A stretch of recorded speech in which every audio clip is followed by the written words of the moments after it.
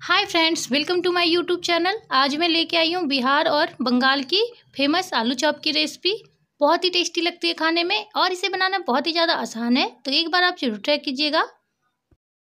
यहाँ पे मैंने पाँच से छः कलियाँ लहसुन, एक इंच अदरक का टुकड़ा और दो हरी मिर्च से हम ददरा सा पीस लेंगे। अब हम गैस को ऑन करेंगे और इसमें कढ़ाई चढ़ाएँगे। कढ़ाई में हम तेल डालेंगे। तो ये देखिए तेल गर्म हो गया है। तो हम इसमें आधी चम्मच जीरा डालेंगे और इसे कुछ सेकंड के लिए फ्राई कर लेते हैं। अब हम इसमें ददरा सा पिसा हुआ अदरक लहसुन का पेस्ट डालेंगे और हम इसे कुछ सेकंड के लिए फ्राई कर लेते हैं। गैस को हमने मीडियम रखा है।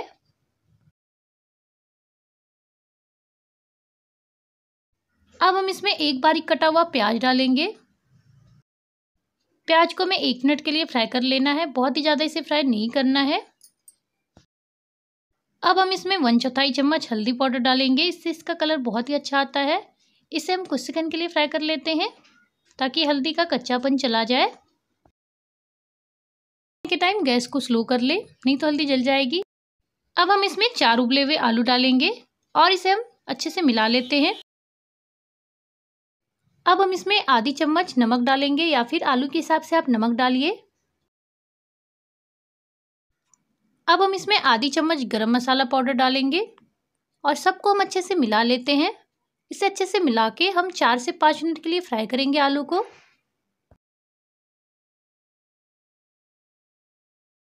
तो आलू को फ्राई करते टाइम इसे मैश भी करते जाए।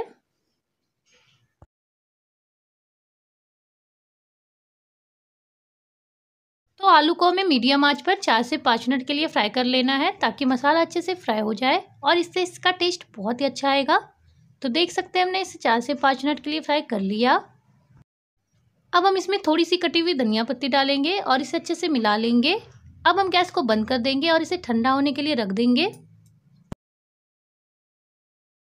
तो जब तक आलू ठंडा होगा, हम बेटर की तैयारी कर लेते हैं। तो यहाँ पे हमने चार चम्मच बेसन लिया है। अब हम इसमें वन चौथाई चम्मच नमक डालेंगे। नमक हमने आलू में भी डाला है तो उस हिसाब से नमक डालिए। अब हम इसमें वन चौथाई चम्मच हल्दी पाउडर और वन चौथाई चम्मच लाल मिर्च पाउडर डालेंगे।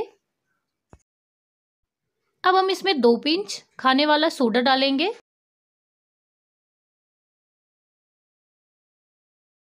अब हम सबको अच्छे से मिला लेंगे और हम इसमें थोड़ा थोड़ा पानी डालते हुए बेटर को तैयार करेंगे। तो इकट्ठा एक साथ बहुत सारा पानी ना डालें।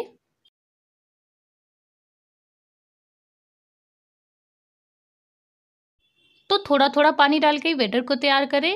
इस बेटर को हमें ना ज़्यादा गाढ़ा, ना ज़्यादा पतला रखना है। इस घोल को हमें मीडियम रखना है। तो इसे अच्छे से मिला लें ताकि इसमें एक भी गुलठियाँ ना हो। तो देख सकते हैं हमने बेटर को तैयार कर लिया। अब हम इसमें ऊपर से थोड़ी सी कटी हुई धनिया पत्ती डालेंगे। और इसे हम फिर से मिला लेते हैं। अब हम क्या करेंगे? आलू को थोड़ा सा उठाएँगे और इस हम इसे टिक्की की तरह बना लेंगे। तो आप इस टिक्की को छोटा, बड़ा अपने हिसाब से बना सकते हैं। जैसा आपको पसंद हो। तो ये देखिए, हमने इसे टिक्की की तरह बना लिया। अब हम इसे एक प्लेट में रख लेंगे।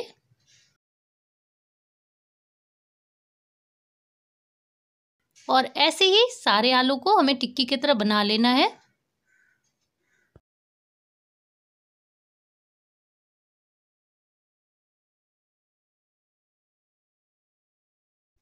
तो देख सकते हैं हमने सारे आलू का टिक्की बना के रख लिया।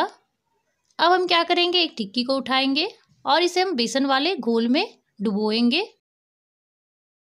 और इसे बेसन के साथ अच्छे से कोट कर लीजिए। और एक्स्ट्रा बेसन जो है, ऐसे हम इसे निकाल देंगे। तेल गरम होने के लिए पहले ही रख दिया था। तेल अच्छा सा गरम हो गया है। तो अब हम इसमें आलू चॉप को डालेंगे। तो ऐसे ही सारे टिक्की को ऐसे बेसन में डुबो के तेल में छोड़ दे।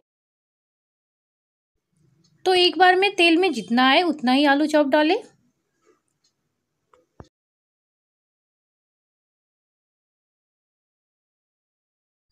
अब हम क्या करेंगे? ऊपर से थोड़ा थोड़ा थोड़ा तेल डालेंगे। और इसे हम स्लो आँच पे दो मिनट के लिए पकाएँगे। तो ये देखिए, दो मिनट हो गया है तो हम इसे एक बार पलट देते हैं। तो एक एक आलू चॉप को ऐसे ही पलट दें।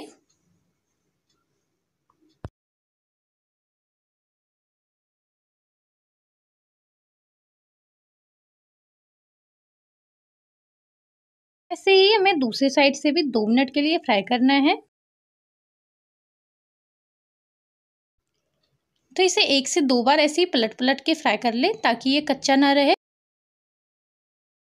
और ये अच्छे से फ्राई हो जाए। तो देख सकते हैं हमने दोनों साइड से इसे अच्छे से फ्राई कर लिया है। अब हम इसे प्लेट में निकाल लेंगे। आलू चॉप बन के तैयार है। आप इसे हरी चटनी, लाल चटनी के साथ सर्व कीजिए। अगर आपको ये रेसिपी मेरी अच्छी लगी हो तो प्लीज़ लाइक करें, कमेंट करके ज़रूर बताएँ। अगर आपने अभी तक मेरे चैनल को सब्सक्राइब नहीं किया है तो प्लीज़ मेरे चैनल को सब्सक्राइब कीजिए। मिलती हूँ एक नई रेसिपी के साथ, तब तक बाय बाय